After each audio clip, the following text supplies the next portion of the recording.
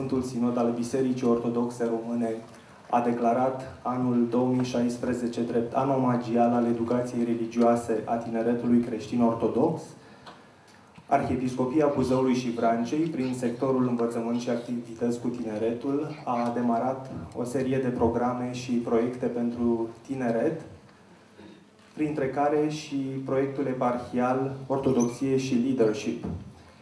Este un proiect al cărui scop este de a reliefa uh, rolul pe care fundamentele religioase ale educației îl are în uh, construirea profilelor adevăraților lideri din zilele noastre și de a invita în mijlocul credincioșilor, mai mult sau mai puțin tineri din uh, județele Buzău și Vrancea, a unor personalități din diferite domenii de activitate cu scopul de a mărturisi uh, ceea ce îi leagă de biserica și de neamul românesc și de a se înrăuri ca modele posibile uh, pentru formarea personală, profesională și, de ce nu, spirituală a tinerilor și a tuturor beneficiarilor uh, ai acestor proiecte. După ce uh, anterior am uh, avut în mijlocul nostru ca invitați în diferite conferințe și ateliere interactive personalități precum domnul uh, Dan Puric, domnul Teodor Baconski, părintele profesor Adrian Sorin Mihalache, actori de la Teatrul Național, doamna Ana Calciu, doamna Magda Catone, domnul Tomi Cristin, și copiii credincioși din uh, diferite parohii din județele Buzău și Vrancea, în această toamnă, cu binecuvântarea și sprijinul efectiv al înalt preasfințitului Părinte Arhiepiscop Ciprian, am uh, dorit să reluăm seria acestor uh, întâlniri în județele noastre, în județele Buzău și Vrancea, cu o întâlnire de suflet, o întâlnire inedită cu două personalități ale audiovizualului românesc, prodigioase realizatoare TV și uh, adevărat, uh, și uh, unele dintre cele mai iubite prezentatoare ale televiziunii române, într-un dialog moderat de un uh, bun tânăr creștin, jurnalist, și președinte al celui mai vizibil și uh, însemnat ONG din județul Buzău, Asociația Părinți pentru Ora de Religie, filiala Buzău. Acesta va fi și anfitrionul evenimentului din această seară, așa încât îl invităm în, în mijlocul nostru, nu înainte de a mulțumi Teatrului George Ciprian, în parteneriat cu care am organizat acest eveniment, pe domnul Ioan Șolea.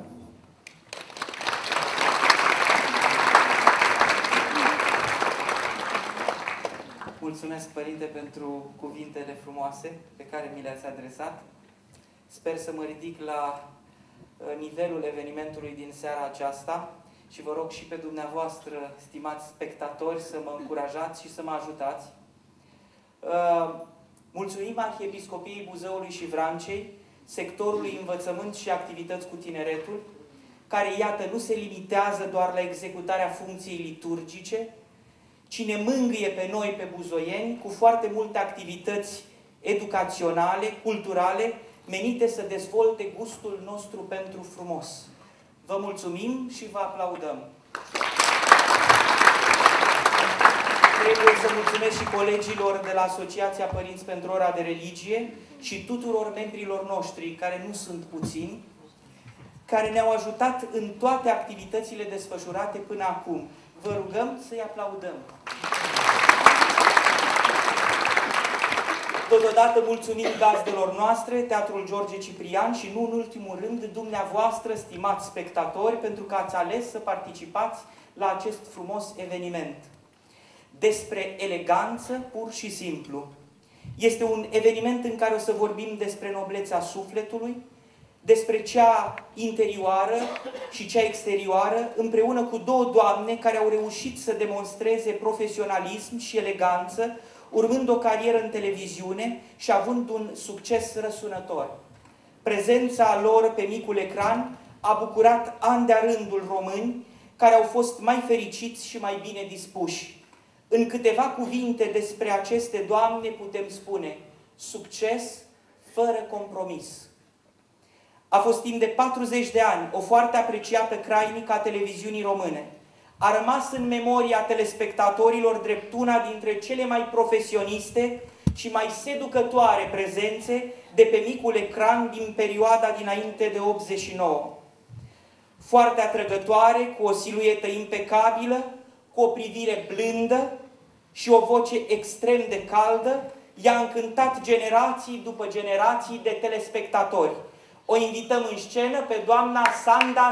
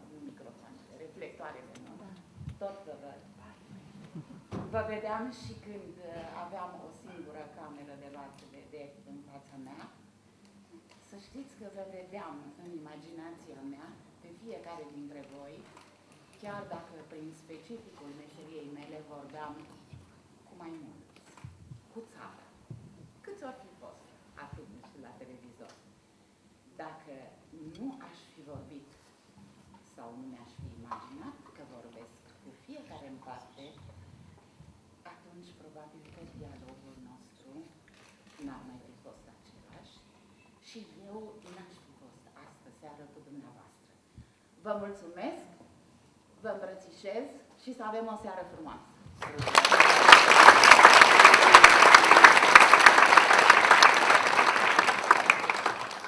A devenit imaginea simbol a postului național de televiziune, oferind substanță termenului de vedetă, este atât profesionistul de televiziune care ține în mâini destinul unei megaproducții, cât și femeia distinsă care își cântărește bine fiecare apariție în mass media.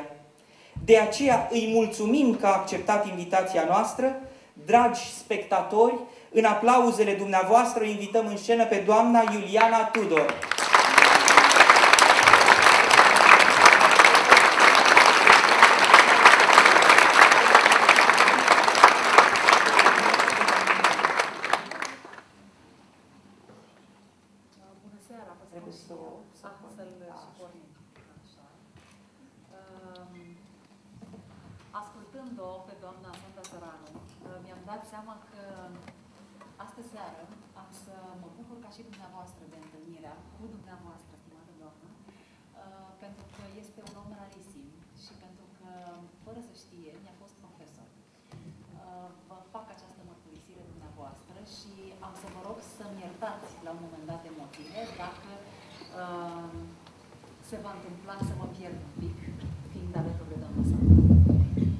Se piardă, nu aveți, nicio grijă, Să știți că noi, înainte de a veni aici, ne-am înțeles între noi ca să ne lăudăm una pe alta. Nu, nu, nu credeți pe doamna Sanda, nu, nu, nu dați din casă Dacă știe cineva ceva despre noi și atunci am zis măcar să fim siguri că zicem noi așa. Deci ne bazăm pe dumneavoastră. Vă mulțumesc că îmi dați acest prilej. Așa ne-am gândit la această întâlnire. Să fie un parcurs, nu neapărat cronologic, ci un parcurs al devenirii și profesionale și umane al dumneavoastră. Nu știu, este vorba de un exemplu, e vorba despre frumos și despre eleganță. De altfel, am intitulat sugestiv întâlnirea noastră despre eleganță pur și simplu. Cum vă amintiți intrarea în televiziune? Domnule, când am auzit că este... Mă aud? Da. Iar. Gata. Când am auzit că este vorba... Nu mă aud, domnule. Mă aud, domnilor, doamnelor, mă aud? Da. Nu prea? A, acum, da, păi vedeți că eu am simțit imediat. Scula asta am avut-o întotdeauna în fața mea și trebuia să mă fac înțeleasă, să mă auzit, mă fac auzită de toată lumea, așa că eu nu vorbesc până nu mă aud. Um, ce am vrut eu să vă spun? E vorba de eleganță. Ați repetat-o pentru a nu știu câta oară. Când am auzit aseară că e eleganță și când am auzit că au făcut un decor așa, ca un salon, ca să fim, am zis, cu ce mă îmbrac? Acum, știți, femeia din mine, în primul rând la asta s-a gândit, cu ce mă îmbrac. Și pe urmă mi-am zis, lasă, dragă, că nu asta este important. Fii tu elegantă, așa, altfel, cum știi tu să fii dacă ți-o ieși, că nu întotdeauna mi iese. Așa că, ce ați spus? Despre intrarea în televiziune și despre ce gânduri aveați atunci. Ah, credeam că am niște gânduri bune. Și am avut gânduri bune. Uh, numai că mi se părea că nu pentru mine. Când mi s-a propus un post la televiziunea română, am spus, pardon, eu nu. Pentru că eu sunt actriță, abia am așteptat să, să ies de pe băncile facultății și să fiu actriță. N-am avut șansa să fie niciun loc în vreun teatru bucureștean și m-au chemat la televiziune, în sfârșit. Gândeam acum și am spus să știți că eu, ăsta e visul meu și eu vreau să intru în teatru. Totuși, nu vreți să încercați? Mi s-au aprins niște beculețe așa și am zis, ia încearcă tu, Sanda, și vezi cam ce e acolo, că uite, și așa n-ai niciun loc de muncă. Și m-am dus. M-am dus și nu mi-a plăcut, aia e. Nu mi-a plăcut pentru că mi se părea că acolo nu creez nimic, nu creez un personaj, cum să spun, nu Era trece prin mine, nu trece prin mine nimic, aveam o singură cameră de asta care mă filma, operatorul și pleca pentru că uh, cabina era de, atât de mică încât, nu știu, era doi pe unu și jumătate, ceva așa, nu intram decât eu. Ai fost vreodată în Molière, da, acolo, în da, cabină? Nu? Așa este. așa.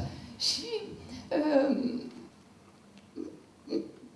îmi imaginam că ur- mă urmărește o lume întreagă, dar și emoțiile din cauza asta erau mari. Eu mă obișnuisem cu public pe scena teatrului Cassandra și am jucat destul de mult și nu numai la clasa mea. Mă distribuise și, și profesorii de la celelalte clase.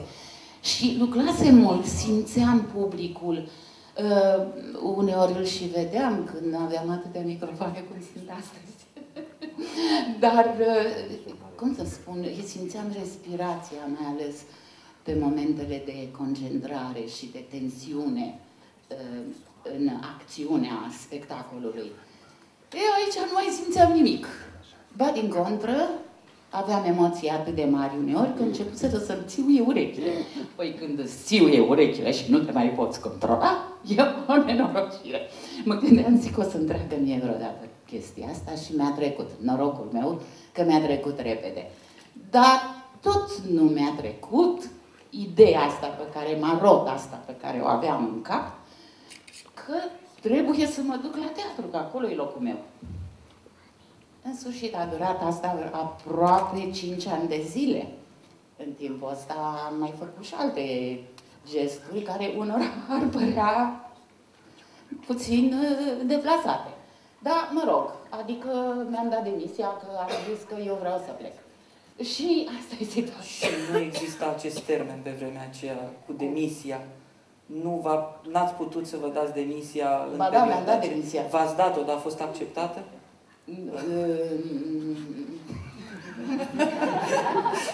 Se pare că Nu. nu. Deci- nu. Ba din contră, m-au chemat și până la urmă, după o ședință cu președintele, care a ținut vreo trei ore, Ca orice ședință. Da, ca o șed- da, era o ședință așa în doi. Dar el purtându-se foarte cald și-a dat seama prin ce trec. Um, dar foarte ferm în același timp. Mi-a spus că e bine să continui la televiziune. Eu mi-am dat seama că a- ăsta e drumul și după aceea m-am pus pe treabă. Cam asta ar fi. Mă gândesc că să ne, mă gândesc că toată lumea crede că la televiziune ajunge cineva care își dorește extraordinar de mult, care se trezește dimineața cu gândul cum să ajung pe sticlă, ce să fac, cu, cu cine trebuie să vorbesc, După cu cine aceea- trebuie să După rezolv. aceea am simțit și eu asta. Când uh, mi-am limpezit gândurile și mi-am dat seama că ăsta este drumul și că trebuie să fac ce trebuie. Și până atunci făceam, dar nu cu tot sufletul, nu cu... Nu, știi ce înseamnă asta, Cum a da? fost la dumneavoastră, Cum a doamnă? fost la tine? La mine a fost mai cu destin, nu ne să spun. spulberați uh, așteptări. Nu, nu, nu, că asta mă gândeam acum, că să știți, asta am simțit și eu, că nu am ce să caut. Ehm, La mine povestea a fost mult mai simplă, să zic. Eh, Eu cântam, în 1999 am participat la un festival. Acolo am fost văzută de cineva de la televiziune și eh, am primit un telefon să vin că e un concurs de prezentatori. M-am prezentat doar ca experiment, nu mă gândeam să fac asta, dorința mea era să devin judecător, asta era ceea ce îmi doream. Dar nu știu cât de bine, dar uh, am fost, uh, m-au ales, într-o săptămână mi-au spus că urmează să intru în direct și am zis, hai să încerc și pe asta. Eram în perioada experimentelor și am zis, uite, dacă s-a oferit uh, o ocazie să, să merg pe drumul ăsta. Am intrat în direct după o săptămână. Am uh, petrecut două ore, cred, cu un regizor în uh, studioul de emisie 6. Mi-a spus doar, aici este camera, văd că ai hârtii acolo și vorbești și zâmbești. Și atât. și zic, bine, și atât? Vezi tu, te descurci. Și aveam, emisiunea era interactivă, cu foarte multe telefoane și pot să vă spun, uh, o să râdeți probabil, am avut o cămașă, apropo de ce îmbrăcăm la televizor, cu mâneci foarte largi. N-am mai purtat niciodată de atunci. Toată emisiunea n-am făcut altceva decât să-mi așez mânecile acelea. Probabil că simțeam nevoia unui gest, uh, nu știu, și felul în care vorbeam cu oamenii la telefon, absolut îngrozitor. Simțeam că este îngrozitor. Vai, ne-ați sunat! De la Iași? Da! Bună ziua! Uh, ce faceți? Ce puteam să fac eu, că habar n-aveam ce să vorbesc și cum să vorbesc cu oamenii. Am făcut-o cum am priceput, numai că, vedeți, e foarte important să să ai în jur oamenii care intuiesc probabil mai mult decât simți tu atunci. Doamna Elize Stan a intrat în platou și a venit cu un chip zâmbind toată la mine și a spus Vai, ai fost minunată! Când în mine totul striga eșec. Și zic, doamnă, așa se face chestia asta? Și zice, da, uh, o să fie foarte bine, am mare încredere. Doamnă, dacă dumneavoastră spuneți, vă asumați. Și am spus apoi, peste vreo 10 ani, că eu, în locul domniei sale, aș fi dat-o afară pe acea fată, pentru că nu aș fi spus că e în stare de așa ceva. Uh, și am început, am lucrat foarte mult, mi-a deschis, dacă vreți, ușile televiziunii cu tot ce înseamnă asta și mi-am dorit foarte tare să nu rămân doar un vorbitor, un simplu vorbitor la microfon, să-mi pregătesc partea de prezentare și atât. Am dorit să știu meseriile tuturor celor cu care lucrez. Și pentru asta am pierdut nopți foarte multe acolo. Am asistat la montări și la demontări de decor. Am învățat cum se pune lumina. Am învățat ce înseamnă de la contur până la lumina de față. Știu exact tot ce trebuie. Sonorizările, tot ce înseamnă. Partea tehnică în special. Uh, apoi, lumea montajului. De ce avut... este nevoie de un astfel de exercițiu? Știți de ce? Pentru că a fi om de televiziune, așa cum definea doamna Sanda Țăranu într-un interviu, înseamnă să cunoști această meserie în detaliu. Și exact cum v-am spus, să știi meseriile celor din de jur. locului. Pentru că e foarte greu să poți comunica în momentul în care ai o echipă de 100 de oameni, fără să știi ce ceri. Asta dacă îți dorești să fii cu adevărat realizator de televiziune. Ori eu asta mi-am dorit. Și cred că a fost și o curiozitate care mă ține de firea mea. Îmi place să aflu, să descoper. Ține și de meserie. Categorie. Și vreau să-ți spun că Elize Stan a avut flair. Așa este. Și Anca Fusariu, aș numi eu și pe dânsa, da. pentru că dumnea ei a fost așa prima, da. da. Și uh, așa a început totul. Uh, am avut la un moment dat dorința de a pleca, după ce am terminat facultatea, uh, tot cu gândul meu de a fi judecător, de a mă înscrie la magistratură, dar mi s-a spus, așa cum vi s-a spus și dumneavoastră, nu de același să nu plec. Nu, nu, nu! Mi s-a spus să rămân pentru că au simțit că sunt omul potrivit la locul potrivit. Și uh, pe folclor, uh, fiind un domeniu cu totul special, uh, au simțit că pot face treaba asta pentru că îmi și plăcea și asta se vedea de atunci. V-aș provoca acum să ne spuneți secretul. Secretul despre cum se trece dincolo de sticlă Ă, cu siguranță cred că ați avut această preocupare, cum a spus și doamna, nu vezi decât o cameră. Cum vezi dincolo de cameră? Pentru că la teatru, uitați, aici suntem cu spectatori în față, ei trăiesc alături de noi, se bucură, ă, se întristează cu noi, simțim asta și eu simt de fiecare dată când sunt cu un invitat, simt dacă i-a căzut bine o întrebare, dacă nu i-a căzut bine, ce te faci când ai doar o cameră și când trebuie să le vorbești oamenilor de dincolo de cameră? Mă iertați. Doamna Sanda, o las pe doamna Sanda. Nu vă iert pentru întrebarea asta atât de grea. Dar încerc să vă răspund. Eu am avut o, o șansă, cred. Cred.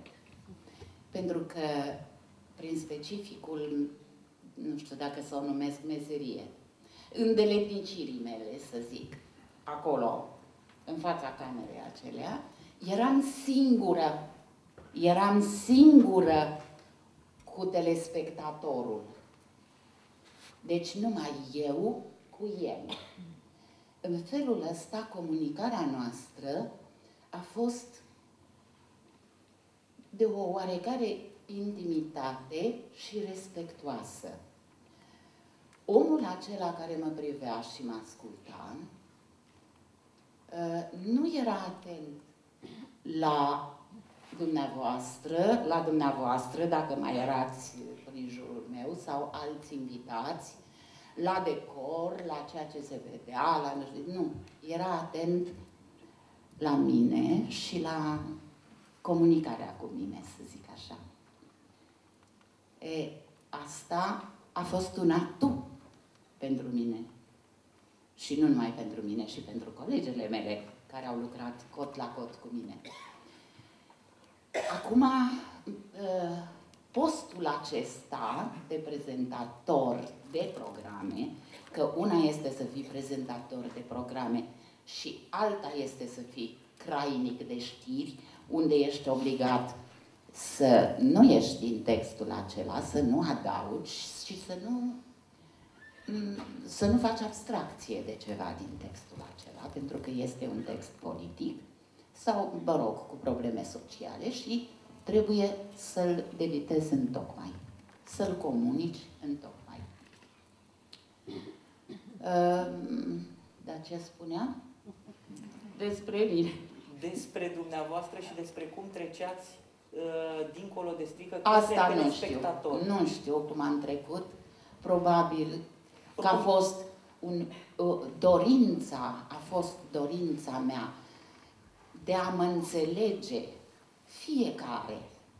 Deci fiecare în parte, indiferent de gradul de instruire, ca să mă fac înțeleasă, dorința mea de a fi un musafir pe care oamenii să-l primească cu plăcere, ă, fără să șochez pe nimeni, pentru că să știți că dacă șochez ceva, cu ținută, vreau să zic cu îmbrăcăminte, cu cine știe ce accesorii, cu vreun machiaj gros sau cu uh, gata, s-a terminat, l-ai șocat, nu mai este atent la ceea șocat ce cu lipsa șocului, pentru că acum suntem obișnuiți să fim electrocutați când uh, ne uităm la nu, nu. totul. A, la ceea ce vedeți, da. da.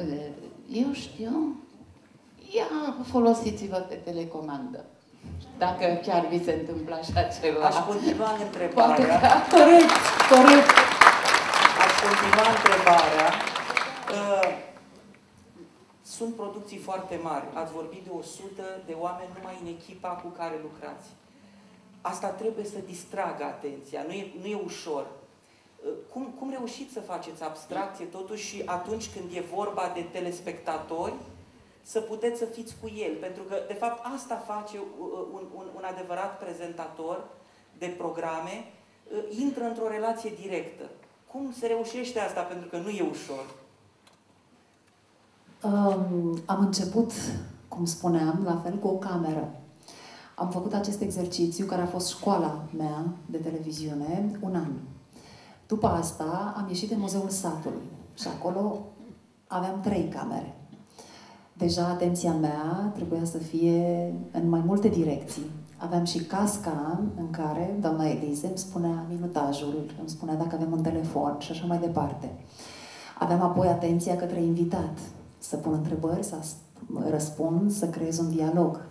Mai aveam și atenția către ce se întâmpla în jur, având dansatori, meșteșugari în jur. Ă, trebuia să fiu atentă la toate. Mi-a fost foarte greu, dar cred că acesta a fost norocul meu, că am început cu producții grele. Și școala mea de televiziune cred că nu s-a încheiat nici până acum. Ne înveți în această lume până la capăt. Uh, să faci televiziune în direct, am spus de foarte multe ori, este ca atunci când te arunci cu parașuta. În momentul în care am intrat în direct, credeți-mă, aceasta este senzația când știu și mi se spune 3, 2, 1, îi spuneam și doamnei Sanda, sunt ca un robot. În momentul acela am pășit în platou, sunt în transă, dacă vreți, și e ca și cum mă arunc în gol. Asta e senzația. Am pulsul, cred că am pierdut ani din viață, foarte, foarte mare, vreo 5 minute înainte să intru în direct, după care am început să rostesc primele cuvinte și încep ușor, ușor și mă liniștesc. De acolo totul vine firesc. Și mă întrebați cum se face să treci dincolo. Acestea sunt, cred, date care țin foarte tare de bagajul nativ. Și se numește simplu carismă. Doamna Sanda are din plin. Și cred că un om de imagine... V-am spus eu că ne lăudăm una pe alta. Stimate... Nu, vreau să aud prin aplauze dacă e adevărat sau nu. Vă rog frumos. Nu mai faci asta, Degeaba, degeaba sunt foarte bine pregătită, degeaba sunt foarte bine documentată, degeaba sunt impecabile la nivel de discurs, de tot ce e în jurul meu, dacă nu am acest lucru. Să treci dincolo de sticlă înseamnă să ai carismă. E simplu. Și asta o ai sau nu ai. Nu se educă, nu se dobândește, nu ți-o pune nimeni undeva. Cu asta te naști. Și cred că oamenii care rămân în mentalul uh, celor care ne privesc, uh, rămân în primul rând prin asta. Știi, se spune că trebuie să-l ai pe vino în coa. Uh, asta s-ar traduce printr-o căldură, așa cum spuneați mai devreme, cu care trebuie să vorbești oamenilor, fie că ne aflăm față în față, fie chiar prin acea sticlă optică. Și Eu și mie așa îmi place să spun și cred că e un loc potrivit să spun asta, doar oamenii dăruiți, cu har, de sus, de la Dumnezeu, pot face meseria asta. Pentru că, vedeți dumneavoastră, chiar cum am spus, când mă arunc acolo în gol, sunt doar eu și Dumnezeu. Și apoi vin telespectatorii. În momentul în care m-am aruncat, da, să știți, chiar așa simt. Și m-a întrebat cineva, Doamnă, unde aveți textele? Zic, aici. Și zice, cum adică? Nu scrieți? Colegi de-ai mei, din generația mea, vă dau nume, Dan Negru, Horia Brenciu, cu toții. Mă, lasă-mă, mă, nu se poate. Scrie cineva acolo, zic, nu scrie domne nimic. și vă spun de ce. Am învățat uh, un lucru de la Cristian Sopescu. În momentul în care pregătești un program, citește foarte mult despre oamenii cu care te întâlnești în emisiune. Află foarte mult despre contextul din care vine fiecare. Află-le poveștile de viață. Stai de vorbă cu ei mult înainte de emisiune.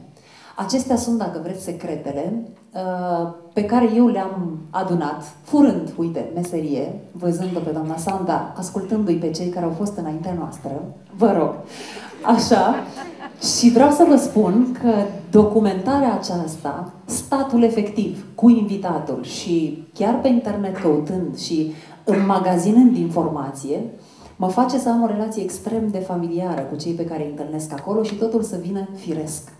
Nu am nevoie să-mi scriu înainte nimic din această pricină, pentru că mi-e foarte simplu, știm deja ce vreau să comunic. Astă seară v-am întrebat despre ce e vorba aici. Mi-a fost de ajuns o frază ca să știu unde vin, cu cine mă întâlnesc. Și v-am dezvăluit un pic din culisele, cum mă pregătesc pentru asta. Dar uh, o transmisiune directă este o mare responsabilitate și mă întrebați ce înseamnă un produs complex.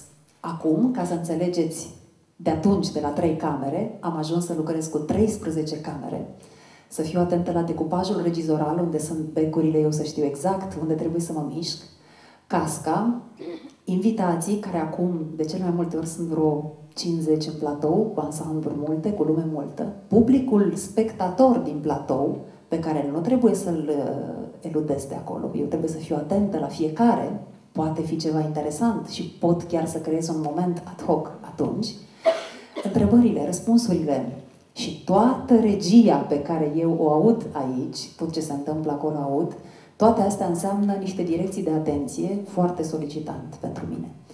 Dar îmi place și pot să fac asta. Și mulțumesc lui Dumnezeu încă o dată că m-a așezat acolo și nu m-a lăsat să plec.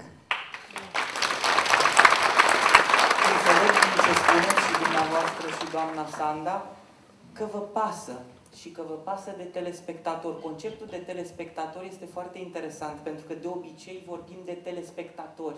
Nu personalizăm atât de mult.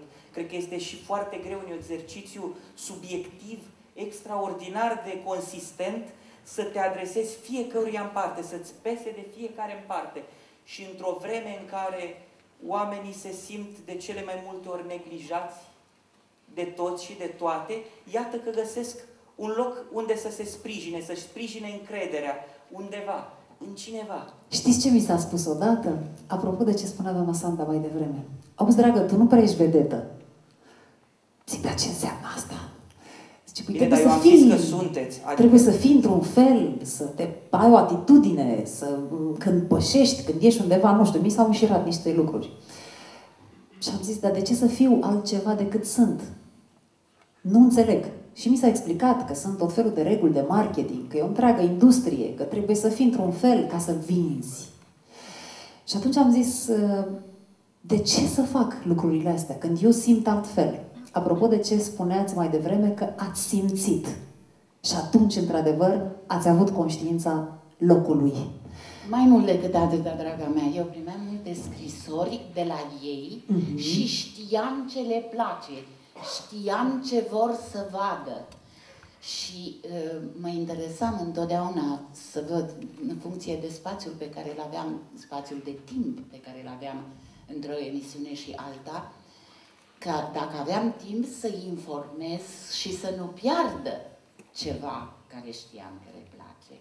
Exact. Și să faci o legătură între o emisiune și alta, să uh, îl scoți pe telespectator din starea de spirit a emisiunii pe care a văzut-o și să o, îl introduci în cealaltă tematică.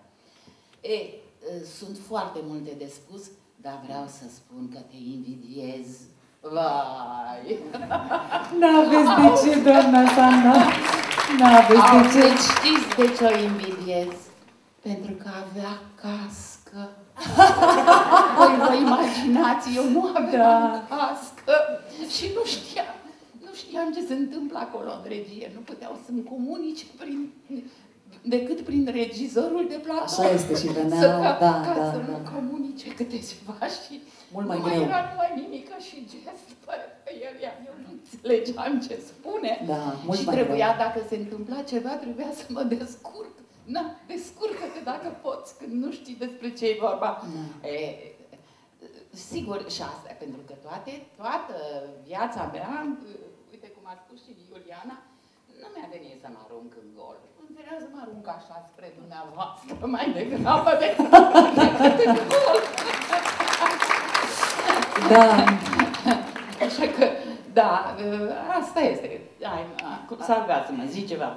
uh, Aș vrea, să mă salvezi, leg, doamna Sanda. aș vrea să mă leg de cuvântul șoc, pentru că doamna a spus că nimic nu trebuie să șocheze. Trăim vremurile pe care le putem descrie cu un cuvânt. Senzațional, Halucinant. halucinant, breaking, breaking news. news. Exact.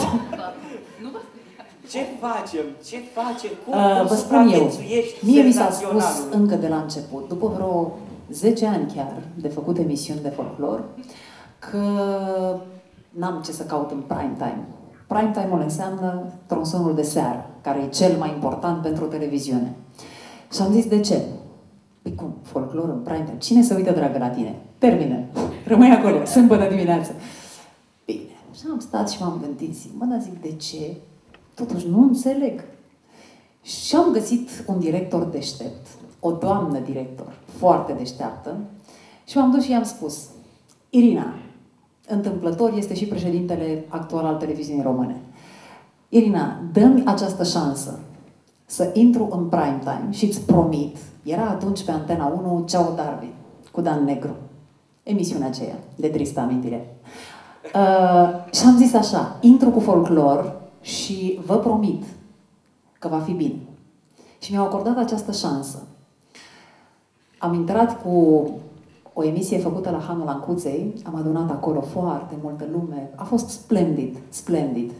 Am făcut audiență dublă față de Antena 1 și le-am demonstrat că se poate face spectacol cu folclorul seara și să adunăm românii apropo de aceste valori. Și cred că reușita mea și a doamnei Elize, aceasta este. Am reușit ca, uite, seriile de vineri, măcar, să se știe că undeva, timp de trei ore, folclorul este la el acasă și promovat cum trebuie. Ori pentru asta nu pot decât să-i mulțumesc încă o dată celui de sus. A fost momentul în care ați început să deranjați. Și Da. dumneavoastră, și Acum nu pot să vă spun ce a folclorul. urmat, că știți, interesele sunt cele care sunt și în televiziune. După o lună m-au scos. Că asta e. Am fost mult prea mică, să spun atunci, și uh, cred că mizele au fost un pic uh, cam mari, dar am revenit. Nu m-am lăsat. Că tot vorbim uh, de deranj. Și dumneavoastră, doamnă, ați deranjat la vremea respectivă cu câteva cuvinte, cu o frază, cu o virgulă, cu ceva în plus care nu era în text. Cum vă pedepseau, doamnă, atunci, pe dumneavoastră pentru ieșirile în decor? E, e cam mult spus ieșirile din decor. Nu, sau în decor, nu. Bă, A schimbat topica unei fraze, a schimba un cuvânt cu sinonimul lui, având grijă ca acel cuvânt să nu poată fi interpretat. Pentru că așa erau vremurile. E, Nu înseamnă mare lucru, da? Pentru e, ei? Vreau, nu, nu, nu, nu. Să zicem pentru el. Sau pentru ea. Personalizăm și răul, am înțeles. nu, dar stai că eu zic așa, acolo unde, unde să zicem, faci abstracție de Dumnezeu, intră satana. Păi eu la satana m-am gândit când am zis el. Așa că vă rog frumos să nu vă gândiți la cine știe ce. pentru, că, pentru că să știți că întotdeauna când mi se întâmplă câte ceva, să zic mai puțin convenabil, ca să nu zic rău, deși au fost și perioade gri și perioade mai spre vinețiu, așa, în sfârșit, eu întotdeauna ocolesc răul. Nu mă lupt cu răul, pentru că mi-era foarte greu să mă lupt eu. Ce să fac? Să mă cert? Nu pot să mă cert. Chiar dacă vrea cineva să se certe cu mine, nu poate. Să-mi dau palile peste cap, să ce? Tot nu rezolvam nimic. Așa că am ocolit, chiar dacă am făcut un drum mai lung, l-am ocolit. S-ar putea ca să fi deranjat pentru că am ocolit și nu n-am făcut cine știe ce scene de astea care să... Că tot aia era. Așa că asta a fost. Pedeapsa era retrogradare la radio. Nu retrogradare, domnule, era loc de penitență. Era un fel așa de beci domnesc, dacă vreți să vă Acum beciul domnesc care tot felul de conotații, doamnă. Apropo de asta, pentru că spune doamna Sanda locul de pedeapsă, când am intrat eu în televiziune, dacă făceai vreo prostie, erai trimis la folclor. Deci, pedeapsa era să te duci să lucrezi la folclor de la cameramani, sunetiști, săraci. Cum făceau vă prostie? De zătora viitoare, intri la folclor. E, și uite, vreau să vă spun că am reușit în vreo 2-3 ani să adun o echipă Uh, și apoi uh, au ajuns să-și dorească să vină să lucreze la folclor, pentru că am schimbat un pic uh, abordarea și, uite, cred că și asta, și acesta este un punct câștigat. Cred că este un moment important în care vă invit să ne povestiți despre persoanele importante care v-au marcat și profesional și uman, pentru că prin excelență uh, ați avut parte de mari întâlniri, v-ați întâlnit cu foarte mulți oameni, cu personalități. Cine v-a, v-a rămas aproape de suflet? Cu mine vorbiți? Da. da. Uh, aproape de suflet au fost și vom rămâne întotdeauna părinți. Aproape de suflet vor, au fost și vor rămâne întotdeauna mentorii, profesorii pe care au avut. Profesoarele, nu pot să uit pe nimeni dintre ei. Aproape de suflet îmi va rămâne întotdeauna bărbatul omul care mi-a adus echilibru și în perioadele când eram foarte fericită, când mi-a ieșit câte ceva bine și în perioadele când mi-era foarte greu, dar foarte greu, și cu tandrețe, cu calm, dar și cu foarte multă fermitate, mă aducea pe linia de hârtire. Uh, viața este cea care m-a învățat foarte multe Foarte. Natura, iarăși, m-a învățat. Dar trebuie, pentru asta trebuie să fii atent la tot ceea ce se întâmplă în jurul tău și să iei partea frumoasă a lucrurilor. Și din viață, și din natură, și din relația pe care o ai întâmplător sau nu cu animalele, și cu copii, și cu, ce să vă spun, meseria, în meseria asta, dacă nu iubești oamenii, să nu faci. Am făcut-o cu respect, cu foarte multă plăcere, până la urmă, datorită dumneavoastră, publicului, în primul rând datorită vouă, uh, am să țin minte până la sfârșitul existenței mele aici pe pământ. de discuția pe care am avut-o cu președintele meu, care mi-a spus de ce este bine să rămân în televiziune, se numește Valeriu Pop, adică se numea, pentru că ne-a părăsit acum foarte puțină vreme, să zic două luni, două luni și jumătate. Ehm, din păcate, rămânem din ce în ce mai puțini și um, sunt cunoscuți din ce în ce sau rămân în amintirea celor care mai sunt, cei care se duc.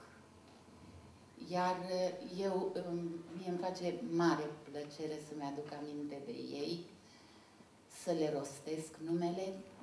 Îmi pare rău că nu e timp pentru că sunt atât de mulți și au fost niște profesioniști atât de buni, uh, eu n-aș fi putut să mă fac remarcată dacă n-aș fi avut ce anunța, dacă n-aș fi avut emisiunile lor despre care mă informam și știam și îmi făcea plăcere să le prezint. Mă înțelegeți? În afară de asta, sigur că televiziunea și trebuie să uh, remarc acest lucru și să vă aduc aminte celor care ați mai apucat vremurile acelea că televiziunea cumpăra și producții străine și aduceți-vă aminte de filmele artistice premiate la concursuri internaționale, de serialele cele mai bune care se găseau atunci pe piața uh, europeană sau de dincolo de ocean. Uh, Aduceți-vă aminte de recitalurile cele mai frumoase ale celor mai buni interpreți care puteau fi ascultate la televiziunea română. Aduceți-vă aminte de ciclul Shakespeare pe care televiziunea l-a cumpărat de la BBC sau de, de subiectele de la teleenciclopedie pe care le cumpăram tot de la BBC. Aduceți-vă aminte de piesele de teatru. Exista vreo săptămână în care dumneavoastră să nu vedeți vreo piesă de teatru? Nu exista. Exista vreo săptămână în care dumneavoastră să nu puteți asculta un concert simfonic de la sala radio sau de la Ateneul Român? Păi nu exista. În felul ăsta noi ne-am făcut, ne-am educat publicul. Publicul a devenit avizat, educat și pretențios. Nimic nu s-a făcut ostentativ. Ne-am bucurat de acest public și e păcat că am renunțat din ce în ce după evenimentele acelea din 89-90, când credeam că în sfârșit s-a deschis o ușă în fața noastră și că vom avea mai multă libertate și că acum să vedeți ce lucruri extraordinare vom face. Uite că n-a fost așa. Și îmi pare rău și îmi pare rău că nu mai există nici postul acesta pe care îl aveam eu la televiziune altă dată. Nu mai există. Și... Dar eu sper să ne revenim, că nu se poate să nu ne revenim. Totul este să nu fim dezbinați, să nu ne mai lăsăm pentru numele lui Dumnezeu dezbinați și să nu ne mai urâm unii pe alții aici vor să ne aducă. Televiziunea are un rol, ar putea avea un, un rol extraordinar în educarea publicului, în aducerea istoriei noastre pe primul plan. Biserica ar avea un rol extraordinar, este o oportunitate extraordinară pentru biserică ca să-și reconstruiască turma Uh, nu știu, cred că nici noi n-ar trebui să mai stăm pasivi și liniștiți când societatea este dezbinată și semenii noștri se urăsc din nu știu ce motive, care n-au nicio importanță. Nu știm să vedem Am auzit acum o replică, nu mai ți-o minte, dar tot la televiziune, ori într-un film, ori a spus-o cineva. George Orwell spunea așa, adevărul este în fața noastră, iar noi nu suntem în stare să-l vedem. De ce? Cine pune perdeaua asta între noi și adevăr? Cine?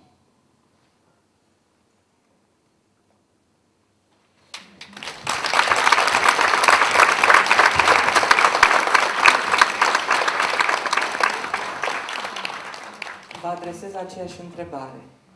Să ne amintim împreună persoanele care pentru dumneavoastră au însemnat, cu care v-ați întâlnit și care au însemnat ceva în viața noastră profesională și uh, uh, am să vă cer îngăduința de a nu răspunde la această întrebare, pentru că aș șterbi din răspunsul pe care doamna Sanda Săranu vi l-a oferit. Uh, cred cu tărie că domnia sa a surprins impecabil esența fericirii noastre. Să fii fericit, să fii fericit înseamnă cu adevărat să fii în echilibru cu toate. Nimic din ce e în plus nu face bine. Nimic din ce e în minus, poate, nu face bine. Trebuie să găsim acest echilibru cu toate. Tot ce e în jur și ne-a fost oferit să iubim, e important să, să fie prezent acolo, în atenția noastră, zilnic, zilnic. Și să știți că, până la urmă, tot lucrurile simple sunt cele care ne fac fericiți cu adevărat.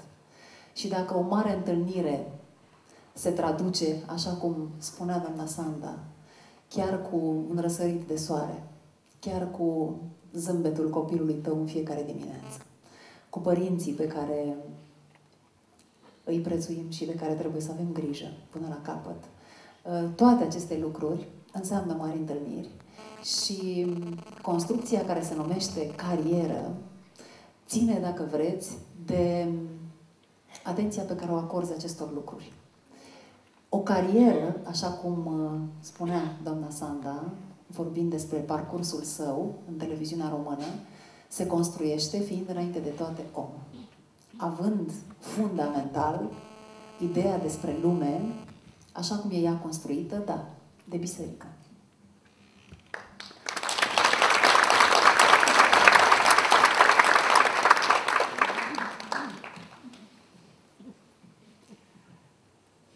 pentru că am ajuns în acest punct și pentru că suntem într-o întâlnire prilejuită de arhiepiscopie, uh, aș vrea să ne gândim un pic și la credință. Și cum uh, întemeiază ea, de fapt, uh, statura umană a profesionistului și ce dimensiuni creează ea, uman vorbind, în, în, în noi, ce, ce, ce perspective ne deschide, pentru că astăzi vedem că termenul de credință a ajuns să fie persecutat, ă, să fie considerat retrograd, aparținând altui secol, e ceva care nu ne mai aparține sau care trebuie să fie strivit. Cum vedeți dumneavoastră credința?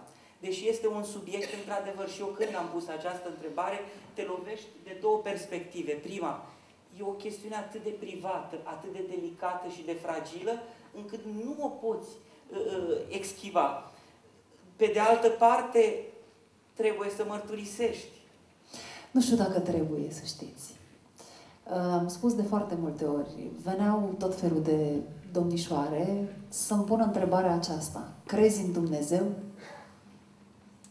Mi se pare că este o taină atât de a fiecăruia, uh, este un spațiu atât de al tău cu tine și cu Dumnezeu, încât vorbind despre asta, cum spuneți, mărturisind, poate, um, ar fi cumva, poate, nu știu dacă e termenul potrivit, dar așa simt eu, un sacrilegiu. Um, despre asta nu cred că se vorbește. Eu în momentul în care sunt pe scenă și am în față, să zicem, 10.000, 20.000 de oameni, cărora le vorbesc ca unuia, să știți că am acest sentiment al credinței că fac ce trebuie. Și mi-aduc aminte atunci când simt acea energie și schimbul de energie între public și ce fac eu acolo în scenă, de ce mi-a spus mama mea când eram mică. Uh, indiferent ce vei alege să faci, important e să crezi. Și dacă vei crede, atunci totul va merge prin bine. Uh, nu am făcut niciodată ceva ce nu mi-a plăcut. Uh, în televiziune am primit foarte multe oferte de a face tot felul de proiecte, campanii de tot felul. Și am răspuns nu atunci când nu am simțit, când nu am crezut în treaba aceea. Ori uh, credința, vedeți, se traduce în viața de zi cu zi și la acest nivel. Oamenii care cred cu tărie, cred eu, sunt speranța României. Doar prin credința lor, România va fi așa cum ne dorim. Cred că trebuie să învățăm și poate să spunem mai mult în spațiul public că a crede cu tărie în ceva înseamnă că toată energia ta se duce către a împlini acel ceva. Și dacă gândim asta la nivel de țară, lucrurile n-au cum să nu meargă bine. Uh, așa mi duc și eu copilul și uh, faptul că la 5 ani spune tatăl nostru, nu doar pentru că i-a spus mama și l-a învățat acea poezie, ci a învățat că e o mulțumire pe care trebuie să o aducă în fiecare seară și el crede, revin cu acest cuvânt, crede în ce spune acolo, mulțumind pentru fiecare bucurie a zilei respective, este, dacă vreți, speranța mea către o Românie mai bună.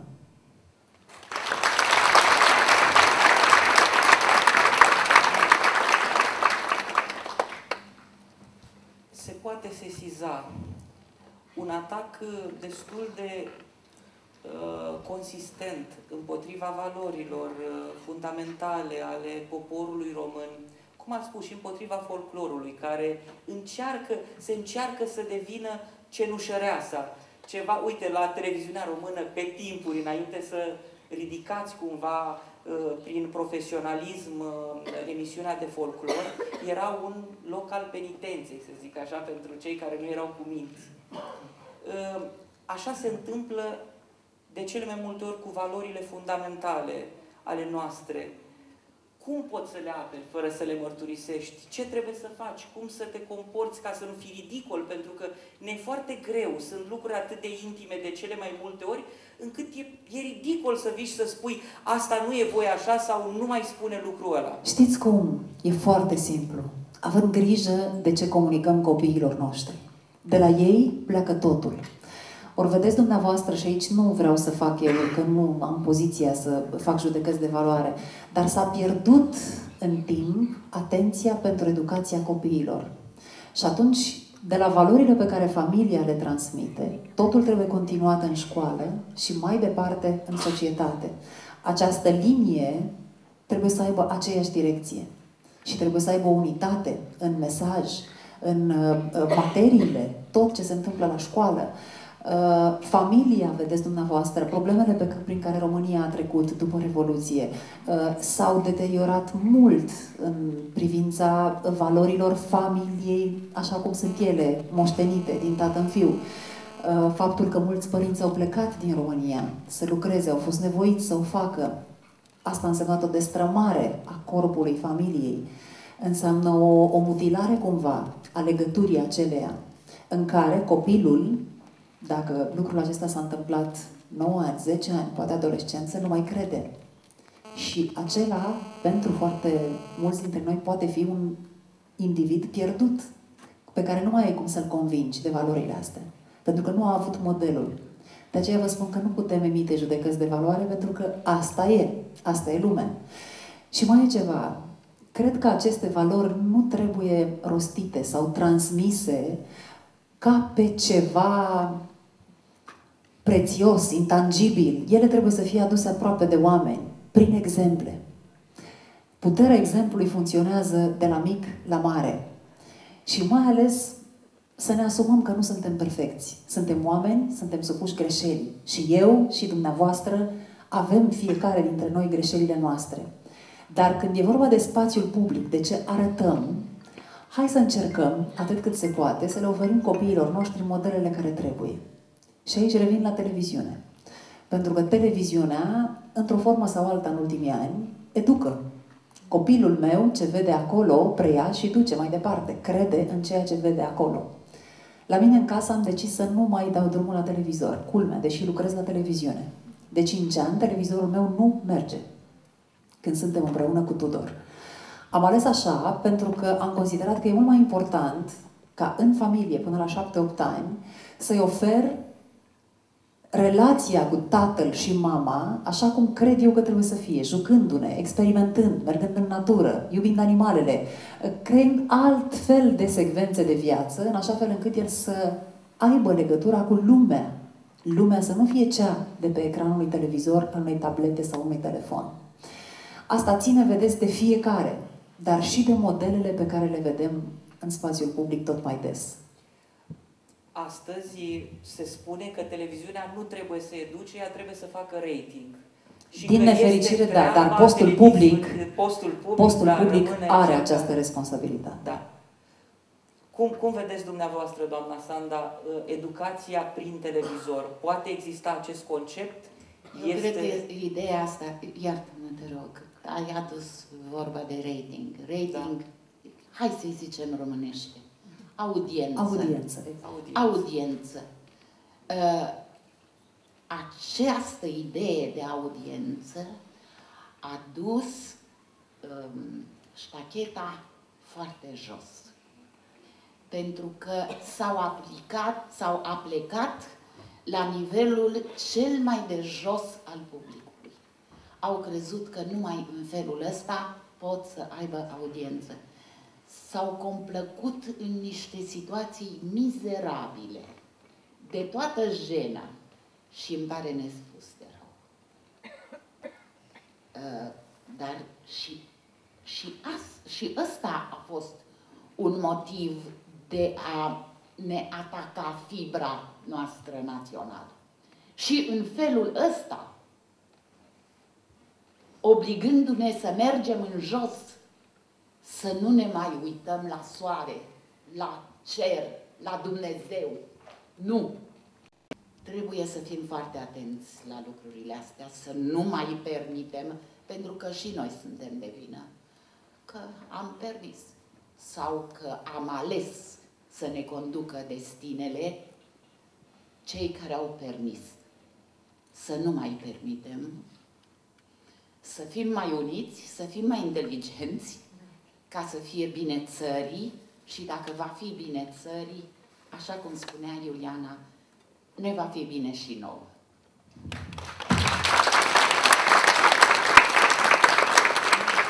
Se spune, așa vor oamenii, asta vor, asta trebuie Vă contrazic. Eu sunt exemplul uh, clar care nu am mers pe această direcție. Chiar mi s-a cerut la un curaj? moment dat. Cum ați avut curaj? Crezând, totul este spus, în acea direcție. Crezând foarte tare în ceea ce fac.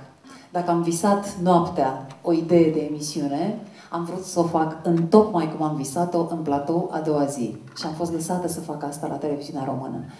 Am crezut foarte tare că pot să fac audiență cu decență. Și am reușit demonstrând că, având un competitor extrem de puternic vineri seară, ProTV, știți foarte bine ce producții sunt vineri seară de la ora 21, să mă plasez pe locurile 2-3 este o performanță. Și atunci mi-am dat seama că nu e adevărat. Nu trebuie să gândesc că trebuie să-mi construiesc programul, cum ați spus, după direcții, ca să nu le spun trenduri, după direcțiile pieței media. Nu. Eu trebuie să fac un program în care să cred ca realizator și mai apoi să știu sigur că cei care se uită la această emisiune primesc ceea ce trebuie de la postul public. Vedeți dumneavoastră, eu am fost educată așa de doamna Elize. Mi-a spus așa, draga mea, să nu uiți niciodată că la postul public responsabilitatea este dublă față de orice altă televiziune. Aici lucrăm pe bani publici. Aici trebuie să facem tot ce ține de noi pentru ca nivelul cultural al celor care ne privesc să crească. Și am zis foarte greu de făcut asta, în condițiile în care concurența este cum este. Dar eleganța, și revin la cuvântul de la care, care ne-a adunat astăzi până la urmă, eleganța, un spectacol muzical în direct, cu orchestră în platou, în care aduci artiști de primă mână, în care lucrurile se întâmplă ca la o întâlnire între prieteni, în care firescul e cuvântul de ordine, a reușit să cucerească prin simplitate, printr-o rețetă foarte simplă, oameni care vin și cântă folclor. Uh, a funcționat. Și cred cu tărie că în România există un public decent, un public educat în continuare, care are nevoie de un spectacol curat. Și eu asta voi face cât voi mai fi lăsată să fac asta.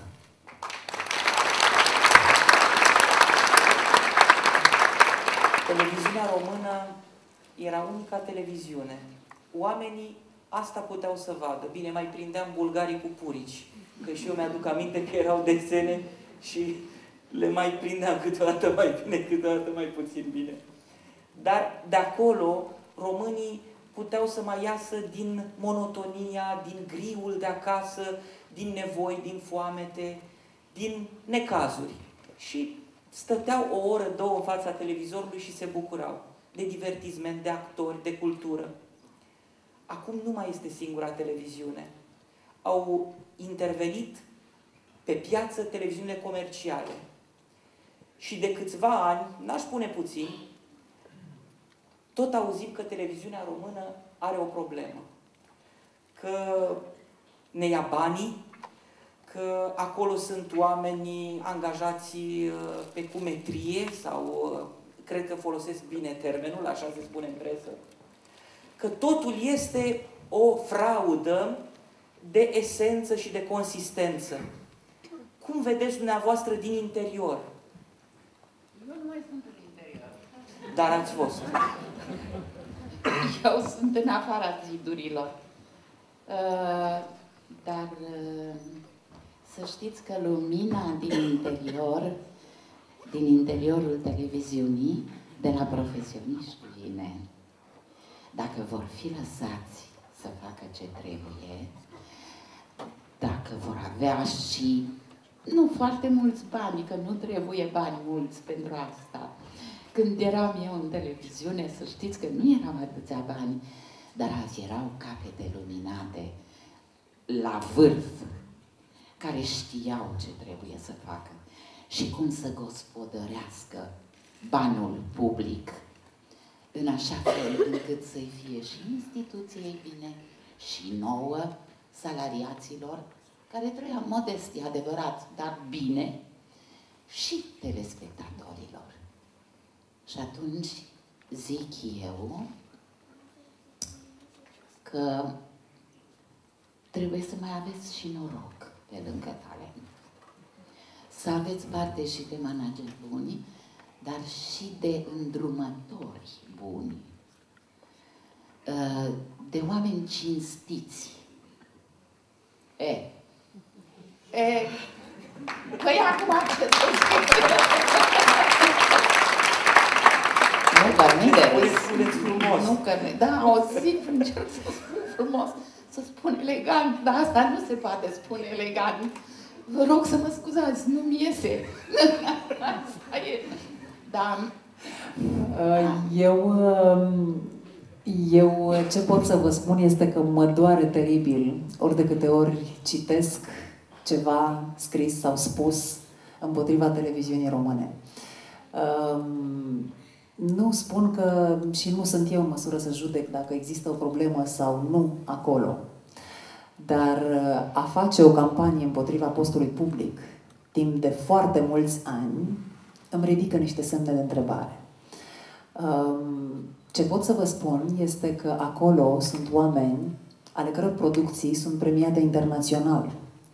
Acolo sunt oameni care au realizat filme documentare, care stau oricând, oricând, lângă filme documentare create de BBC, CNN sau orice altă televiziune de pe planetă. Acolo sunt oameni pe care nu-i cunoașteți și despre care se vorbește foarte puțin. Eu lucrând în divertisment, asta e, beneficiez de o expunere puțin mai mare. Dar uh, pentru mine este extrem de onorant să fiu jurnalist la postul public din România. Um, am să vorbesc întotdeauna despre televiziunea română ca despre televiziunea românilor, pentru că ea este, aș spune, singurul loc care a mai rămas în care lucrurile se întâmplă așa cum trebuie. Acolo încă ascultați limba română rostită corect, acolo încă vedeți programe făcute decent, acolo încă oamenii nu se ceartă și nu fac audiență prin ură, acolo încă se transmit idei și se, face, se fac un schimb, se face un schimb întotdeauna de idei. Ehm, acolo încă, zic eu, copiii noștri mai au ce vedea.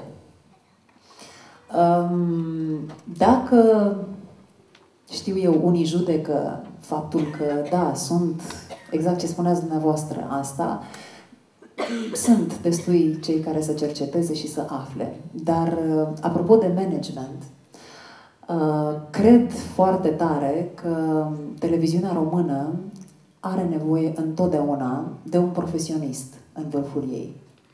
Cred că este timpul exact ca televiziunea română să fie condusă de un profesionist care să înțeleagă meseria. E foarte greu să vorbești cu cineva care nu e de meserie și să-l convingi că tu crezi în povestea aceea, că ai nevoie de sprijin, de la fonduri până la resursele de producție, în așa fel încât să ți le și ofere. Ori un om care e de meserie știe exact și nici nu trebuie să-i explici nimic. Am încredere că lucrurile sunt pe făgașul bun acum și am încredere, așa cum spunea și doamna Sanda, că toți cei care își asumă această poziție de atacatori ai TVR vor înțelege, poate, că televiziunea română nu este un competitor comercial. Televiziunea română își are misiunea ei foarte bine definită. Uh, da, probabil divertismentul intră în niște mize comerciale, pentru că trebuie să și obținem profit. Dar, dincolo de asta, misiunea televiziunii române este cu totul alta. Și atunci cred că ar trebui lăsată puțin, să-și revină, ajutată fiind, și subliniez, ajutată. V-a ajutat guvernul? Nu e, nu e poziția mea să spun asta, Doamne ferește, doamna Sanda. Eu sunt realizator acolo, fac emisiuni de folclor, atât. nu fac politică, dar... Dar eu nu spun Eu spun doar atât că a ajuta televiziunea română nu înseamnă neapărat ce spuneți, un sprijin din partea autorității publice. Cred că românii cu toții ar trebui să ajute televiziunea română, ignorând până la urmă tot ceea ce auziți, dragii noștri. Pentru că vedeți dumneavoastră, emisiunile care vă prezintă atât de multe lucruri despre valorile creștine, emisiunile care vă prezintă atât de multe și importante lucruri despre istoria României, emisiunile care vă prezintă dumneavoastră lucruri despre tradițiile și obiceiurile noastre, Emisiunile care sunt adresate minorităților din România, cu respect pentru valorile lor culturale. Emisiunile care vă informează. Jurnalul de la TVR, după părerea mea, chiar dacă sunt lucrător acolo, văd ce se întâmplă și la colegii mei, este în momentul acesta cel mai credibil și echilibrat. Uh, ce să vă mai spun? Faptul că acolo există, da, spectacolul odată în viață, care este unic în peisajul din România, avem un spectacol muzical transmis în direct. Totul se întâmplă live acolo și m-am luptat pentru asta, deși mi s-a spus că e mult mai ieftin să fac playback.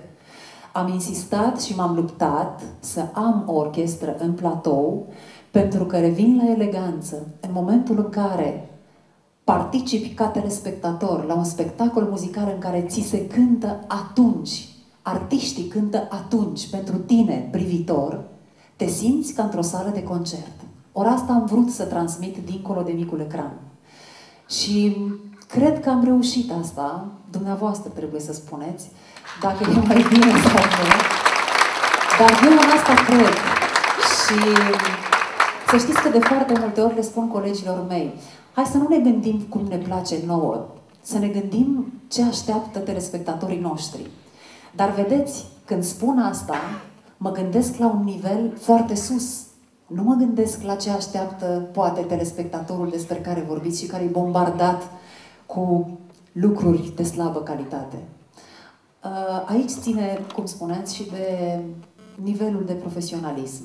Iar în televiziunea română, credeți-mă, am fost invitată la toate televiziunile din România. Am lucrat cu foarte mulți oameni de la televiziunile comerciale. Am văzut cam cum se lucrează. Este o distanță, credeți-mă, uriașă. Felul în care se face și se construiește și se realizează o emisiune la postul public nu are nicio legătură în materie de meserie cu ce se face în comerț. Și folosesc acest cuvânt, înțelegeți exact. Este comerț și atât. Ai înțeles de ce sunteți atacați? Acum ai înțeles? Ți-ai răspuns singură. Am fost acum la televiziune pentru ca să înregistrez câteva momente pentru cea de-a 60-a aniversare a televiziunii naționale. Îmi place să-i spun naționale, că e a noastră, nu? De televiziunea română înseamnă televiziune națională.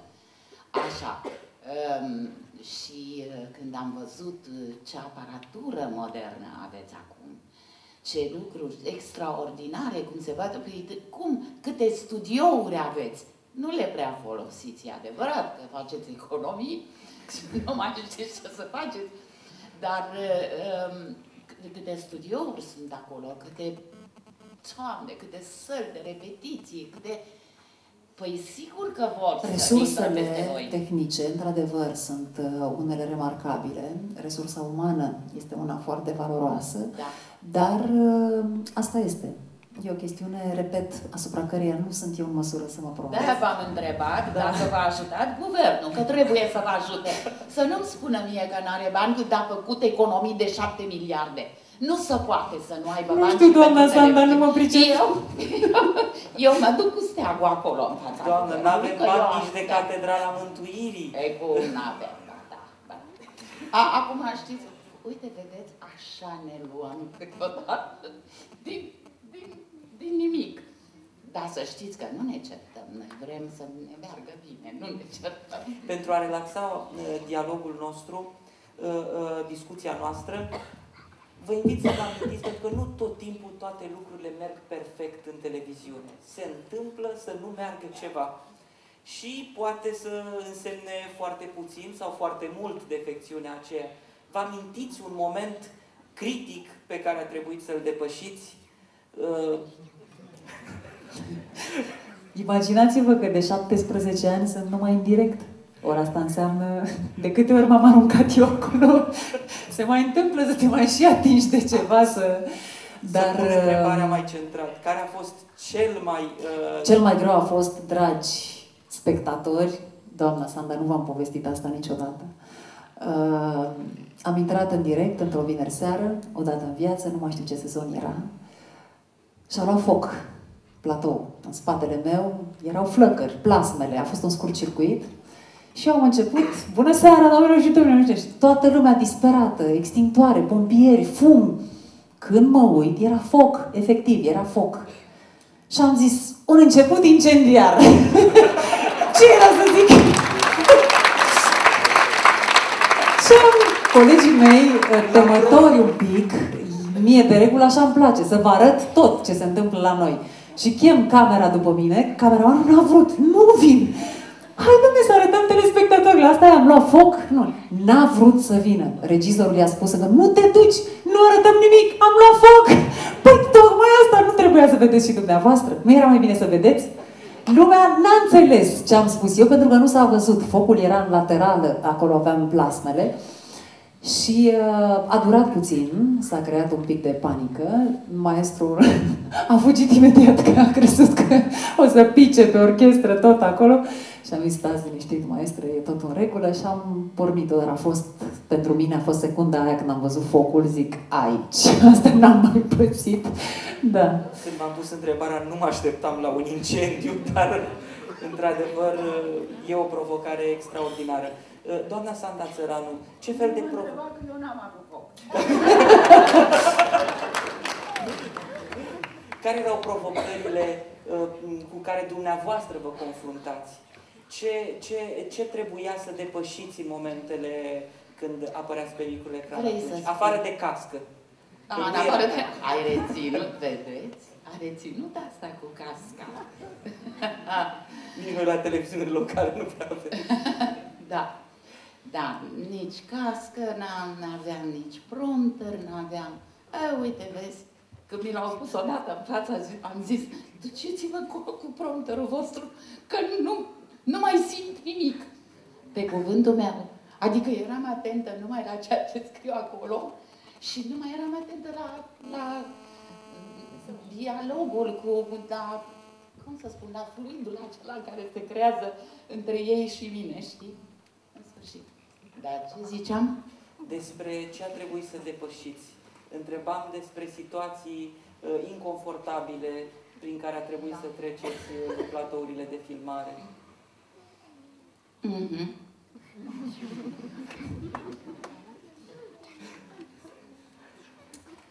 Eram la Târgu Cărbunești, la Mineri. Ne-am dus acolo cu orchestra Radio-Televiziunii Române, dirijată de Sile Dinicu, și uh, cu un grup mare de cântăreți, de interpreți, de muzică ușoară și populară, cei mai cunoscuți și cei mai frumoși și cei mai cei. Iar eu trebuia să prezint spectacol. Am intrat în scenă, am prezentat prima piesă, a doua și dai, dai, dai. Și la un moment dat, când intru eu în, în eram în culise, îmi dă regizorul de culise, îmi dă casca. Era casca lui, nu era casca mea acum. Să nu credeți că era casca lui cu care comunica, cu cardul de reportaj pentru că uh, spectacolul acesta nu se transmitea în direct la televiziune. Era înregistrat cu carul și uh, urma să se transmită în întregime exact așa cum e într-o sală de spectacol și uh, îmi dă cască.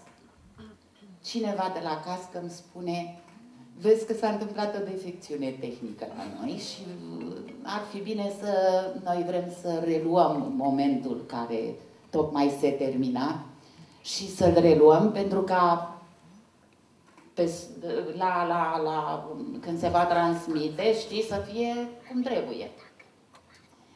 Și zice, vezi că s-ar putea să fii huiduită.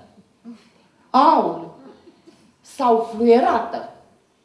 Acum, să vă spun sincer, acum sunt obișnuită și cu huituierile și cu fluierăturile, dar atunci mă gândeam, zic, dar de ce să mă fluiere pe mine?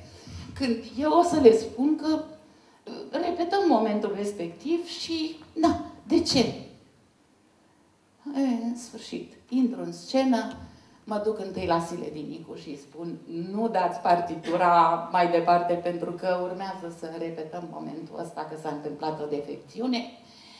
Uh, și mă duc la microfon și zic, aoleu, acum ce mă fac, că mă uibi. Și uh, încerc să le spun, dar uh, probabil că se simțea o oarecare emoție. Nu se simțea în glasul meu. Mi-am dat seama că în glas tot, totul mergea perfect. Dar simțeam în toată ființa mea că am o emoție cumplită și că trebuie să încerc să-i fac să înțeleagă că se mai întâmplă și câte o defecțiune de asta și că poate că nu se vor supăra dacă vor mai asculta încă o dată melodia aceea cântată de nu mai ce minte cine era, ori Dan Spătaru, ori Aurica Andreescu, ori, ori Margareta. Unul dintre ei era Poate că o să vă facă plăcere să mai ascultați încă o dată, pentru că noi vrem ca pe post, atunci când se va transmite acest spectacol, oamenii, toată țara să-l vadă în întregime. Ori e păcat să nu se vadă un moment, să piardă un moment. În sfârșit, sper să iasă totul cum trebuie. Și vreau să fac un pas în stânga, ca să ies în culise, să plec din scenă. Și nu puteam să fac pentru că, în, deci, în glas nu se cunoștea emoția, dar îmi tremura genunchiul. Îmi tremura genunchiul stâng și mă gândeam, zic, Doamne, dacă fac un pas și dacă, dacă până la urmă cad, ce se întâmplă cu mine? Și bă, am bătut odată așa cu, cu piciorul bodea și am ieșit. Nu vă spun că nu cuiduiel și au, a început un ropot de aplauze, cum nu vă puteți imagina.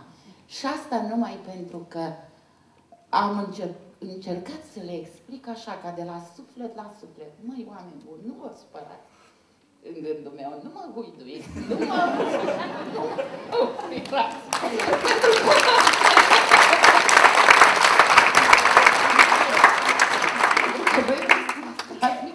spectacolul și, în sfârșit, ce să vă spun, ca, dacă să vedeți ce înseamnă mentalitatea oamenilor. Păi, ce a gândit la care mi-a spus mie în cască? Că acolo sunt mineri, da?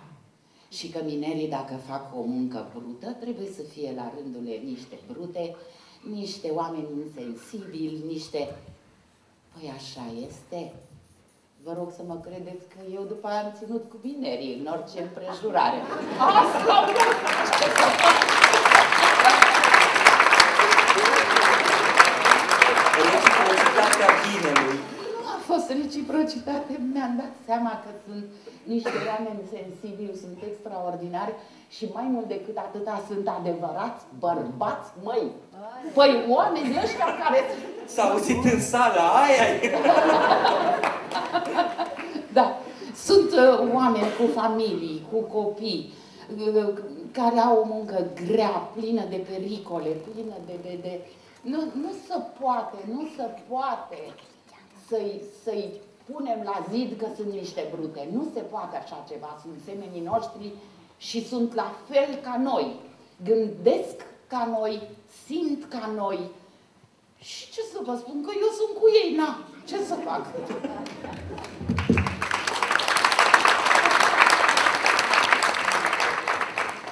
Eu vă mulțumesc foarte mult pentru această seară. Uh, pentru mine este, uh, a fost o experiență extraordinară, un prilej extraordinar. Uh, vă invit să adresați un cuvânt de final fiecare spectatorilor din Buzău. Nu știu, ce credeți că trebuie... Hai Buzău, Buzău, e un cântec, știu eu un cântec. Ați văzut o aduc la o dată în viață, nu? Doamna Sanda Țăranu a înțeles că trebuie să ținem cu folclorul, vedeți? Asta e, da, da, da, da. Uh, ce să vă spun, vă mulțumim foarte mult, a fost o stare foarte caldă aici. Uh, sper că v-ați simțit bine și dumneavoastră, asemenea nouă. Și uh, sper din toată inima să vă fi fost de folos, într-un sens sau altul. Uh, să aveți zile senine și uh, să credeți cu adevărat în ceea ce faceți fiecare dintre dumneavoastră. Vă mulțumim frumos!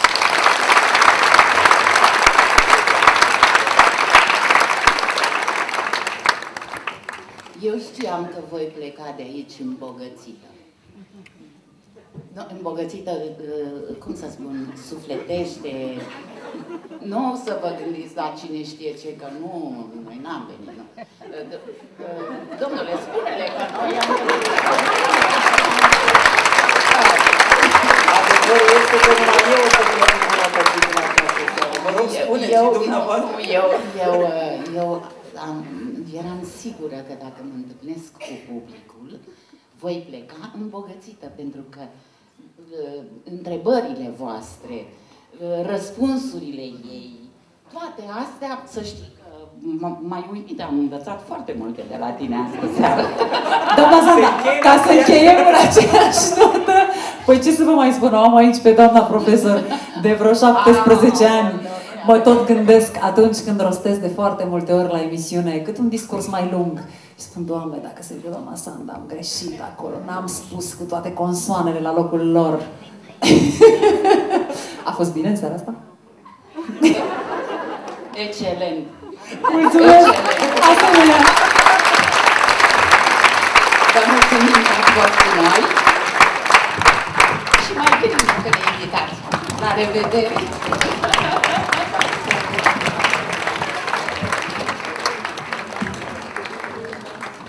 Chiar vreau să fac această precizare, să-i salut pe cei care înțeleg că sunt invitați speciale aici, de la Soroca, din Basarabia.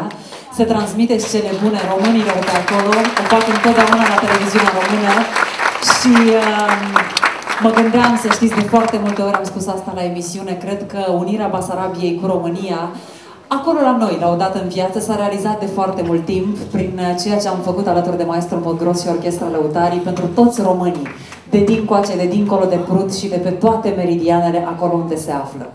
În alt preasfinția voastră, vă așteptăm! Și mulțumim că ne-ați onorat cu prezența astă seară. Bună seara! Bună seara! Vă adresez și eu, chiar dacă e finalul uh, acestei întâlniri,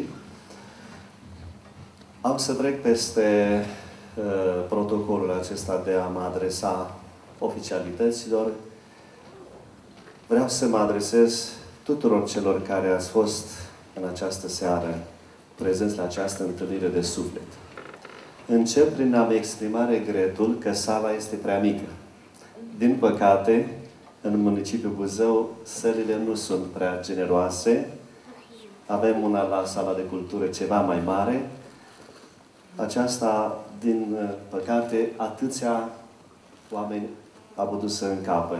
Mi-aș fi dorit să fie cât mai mulți, pentru că a fost o șansă pentru buzoieni să vă aibă în mijlocul lor, să vă asculte în direct, față către să vă vadă față către față și mai ales să simtă emoția în suflet atunci când dumneavoastră le-ați transmis căldura sufletului dumneavoastră. Prin aceasta, dragii mei, Arhiepiscopia a dorit să vă arate dumneavoastră, celor care constituiți trupul bisericii, că noi nu ne limităm doar la activități liturgice și bisericești în excelență, ci dorim să aducem în fața dumneavoastră personalități de seamă ale țării noastre, oameni de certă valoare și poate că spre surprinderea multora, așa, nu v-ați fi așteptat să aducem două doamne. A doamne autentice ale societății românești. Doamna Sanda Țăranu, cu care ați crescut cei mai mulți dintre dumneavoastră, inclusiv eu. Și am avut prilejul să-i o mărturisesc Doamnei și să-i mărturisesc admirația pe care am purtat-o din vremea copilăriei mele, de la vârsta de 10 ani, de când părinții mei au putut să cumpere televizor, în 1975. Și am încredințat-o atunci cât de iubită și apreciată a fost de telespectatorii care o urmăreau cu drag și care au păstrat în memoria lor, în sufletul lor, căldura sufletului, zâmbetul, nu de televiziune ca așa, ci cel firesc. Cel firesc care descoperă un om deosebit, un om autentic, un om care iubește, care respectă pe celălalt și așa cum v-am mărturisit în această seară, care reușea să comunice prin acel fluid cu ascultătorul pe care nu-l vedea față către față, dar pe care și-l imagina și îl simțea. Aceasta, într-adevăr, cum s-a spus, este o harismă de la Dumnezeu. Har, cuvântul harismă vine de la har. Nu este chiar același lucru, dar izvorește din Harul Preasfântului Duh. Este acel talent sau talent cu care te naști, dar care nu ți aparține, ci este de la Dumnezeu. Și vine vremea când, în copilărie, personal, cu ajutorul altora, reușești să-ți descoperi acel talent. Și apoi, bucuros că ți l-ai descoperit, îl cultivi și îl fructifici spre folosul tău și spre folosul celorlalți din jur. E bine, pentru a lucra în televiziunea română și în alte televiziuni ale altor țări, să spunem, nu mă refer la cele comerciale, deși și acolo ar trebui să se petreacă lucrurile tot așa, nu este atât de ușor. Trebuie să-ți placă, să o faci cu pasiune, să o faci cu dragoste și să te gândești la ceilalți ca și cum ai fi tu însuți. Și mai ales să dorești să transmiți valorile autentice, care, din păcate, în ultima vreme, sunt tot mai mult îndepărtate din conștiința românească. Tocmai de aceea am dorit să aduc în fața dumneavoastră două modele de doamne de televiziune, de realizatoare de televiziune, așa cum ar trebui să fie toți cei ce lucrează în televiziune, care să vă respecte pe dumneavoastră cei ce ascultați. Pentru că, spre deosebire de noi, slujitorii bisericii care vă transmitem cuvântul doar în spațiul sacru al bisericii și, mă rog, și în alte împrejurări, cei ce lucrează în televiziune sunt privilegiați pentru că au posibilitatea să pătrundă prin acel mic aparat în casele tuturor. Invitați sau neinvitați. Dacă vor reuși să transmită lucruri folositoare, lucruri educative, pentru copii, pentru adulți, atunci musafirul, cum spunea doamna Sandra Țăranu frumos, este bine primit. Dar dacă nu, atunci fie folosește telecomanda, cum ne-a recomandat, sau cine știe cum trezește anumite reacții și sentimente. E bine, nu întâmplător, așadar, am căutat să aducem la Buzău și bănuiesc că și-au rupt din timpul dânselor acest interval de timp prețios Uh, mă gândeam și la doamna Iuliana Tudor pentru că uh, este, lucrează în momentul de față la televiziune și are foarte multe uh, activități și sigur nu i-a fost foarte ușor ca să vină până la muzeu.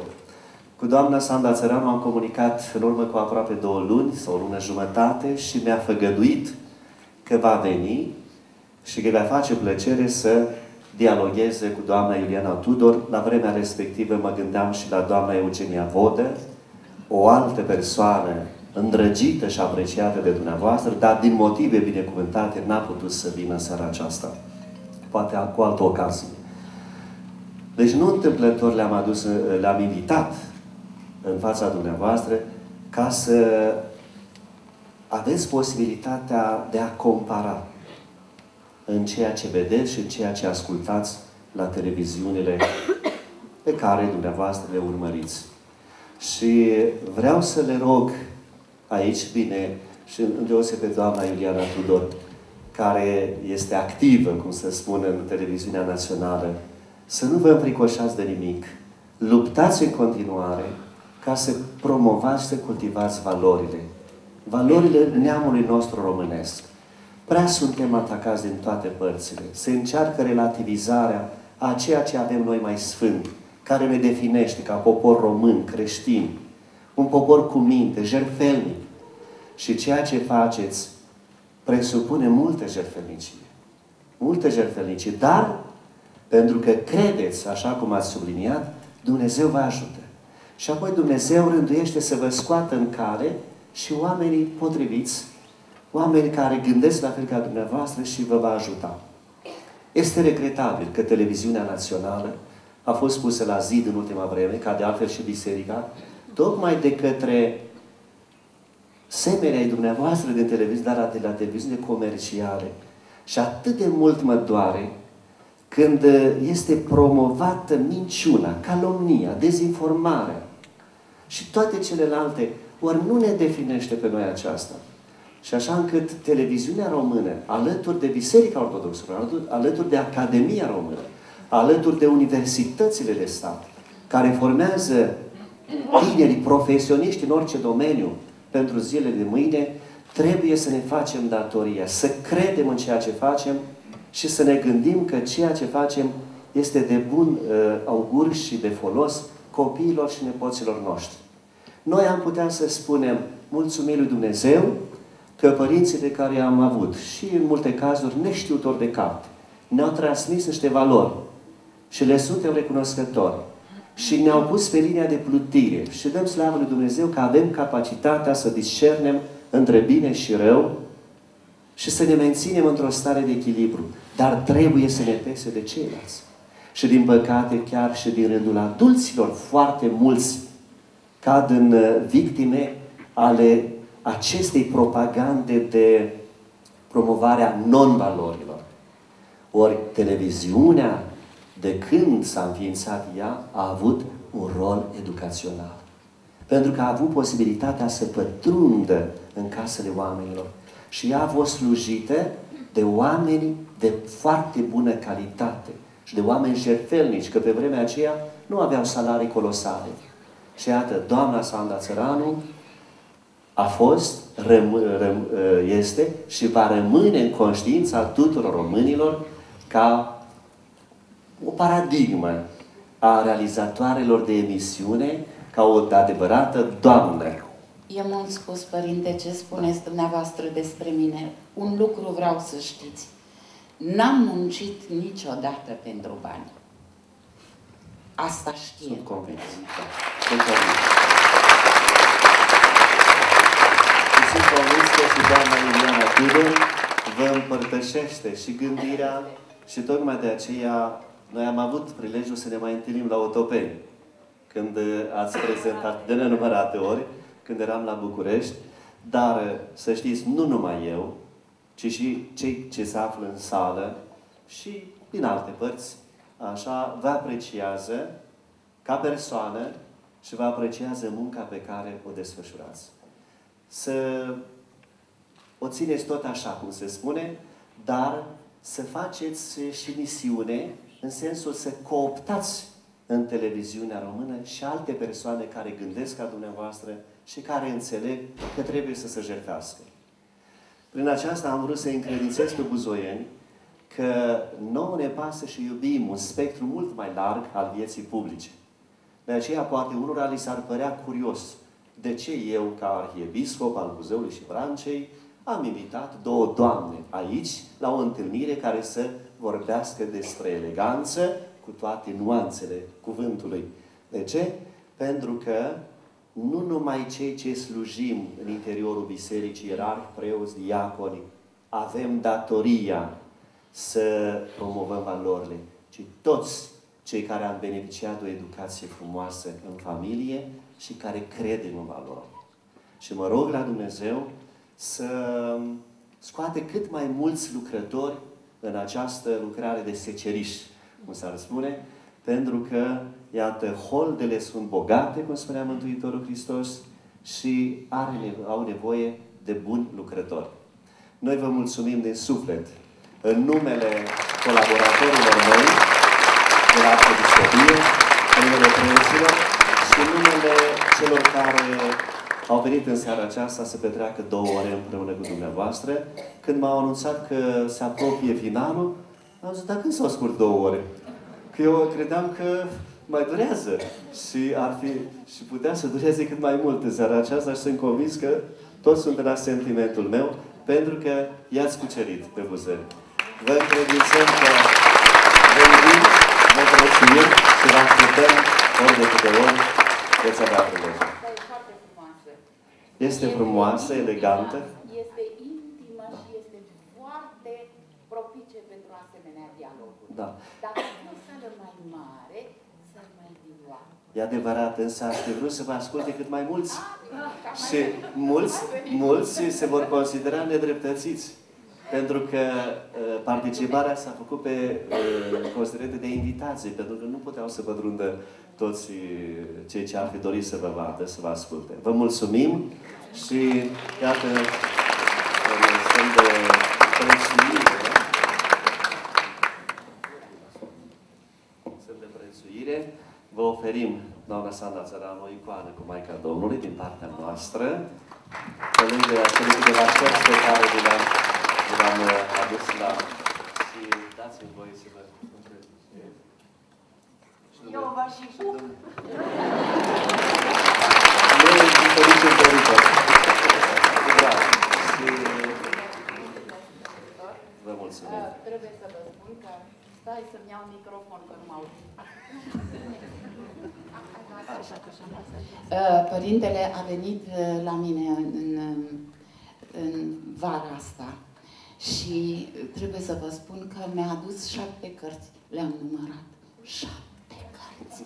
Care mai de care mai frumoasă și mai de valoare, dar și prezentate extraordinar. Să vă spun ceva, între ele era și o Biblie. O Biblie albă, imaculată, superbă. Dacă ați ști ce m-am lăudat cu cărțile astea. Vai, n-am să uit niciodată și am zis, Doamne, de ce eu? De ce mi se întâmplă mie lucrul ăsta? Ce-am făcut eu? Că n-am făcut nimic ceva ca să zic că... Și uite, acum primesc o icoană. Uitați-vă și dumneavoastră la ea cât e de frumoasă.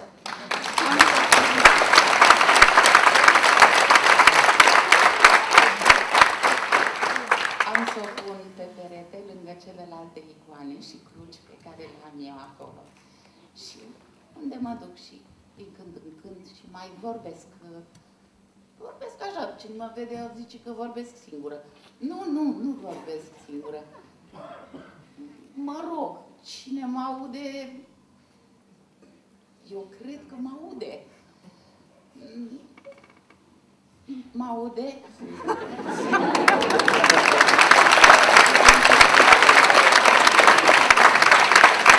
Mulțumesc încă o dată pentru darul și pentru... Dumnezeu să vă dea multă sănătate și ani de viață.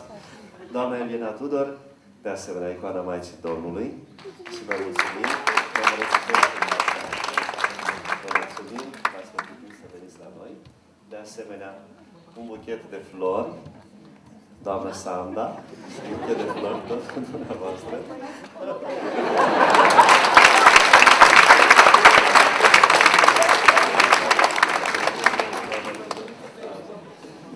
Poftiți mai.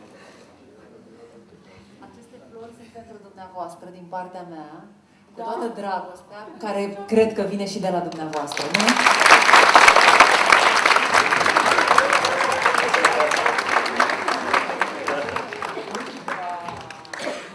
Trebuie să am așa mai multe brațe, ca o caracatiță. Încă o dată mulțumim din adâncul sufletului, Dumnezeu să vă întărească în tot ceea ce faceți, să vă inspire și să fiți fermă în continuare la televiziunea română. Vă mulțumim tuturor care ați ales să vedeți să faceți seara frumoasă cu noi.